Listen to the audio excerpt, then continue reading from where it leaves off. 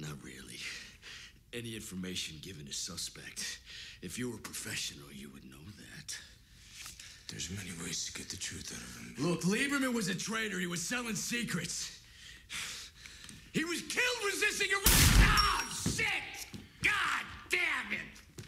Ah! Way I see it, there's no way a guy like you kills a suspect in a case that big. No way. Not unless you're dirty. So either someone paid you to do it, or you were working with Schoonover already. I swear to God, I don't. I don't know anybody named Schoonover. Nothing about heroin from Kandahar either. Is that the case? You just answered your own question. Is that right? Ah! Ah! Ah! ah shit! No matter whoever, making you afraid to talk, I promise you, whatever you think. Please. Don't even think about it. Get on your knees. Do it! And put your hands behind your head. Now.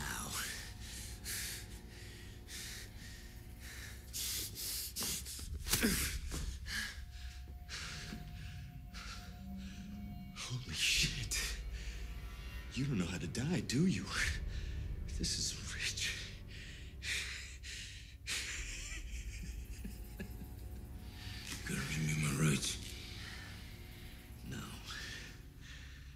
Don't think I'm gonna do that.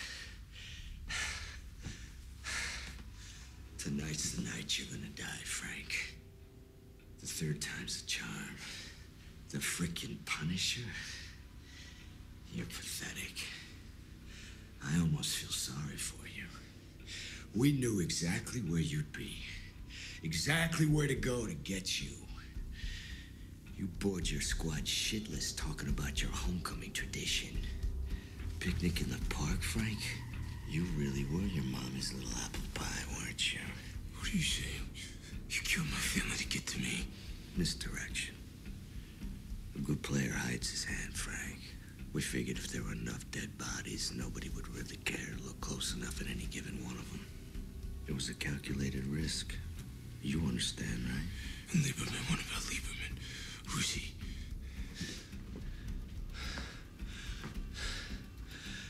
Thought you were the one that sent him the tape. Now close your eyes, Frank. I'm gonna do you a favor. You're gonna see your family real soon. No? Suit yourself. Gun's empty, asshole.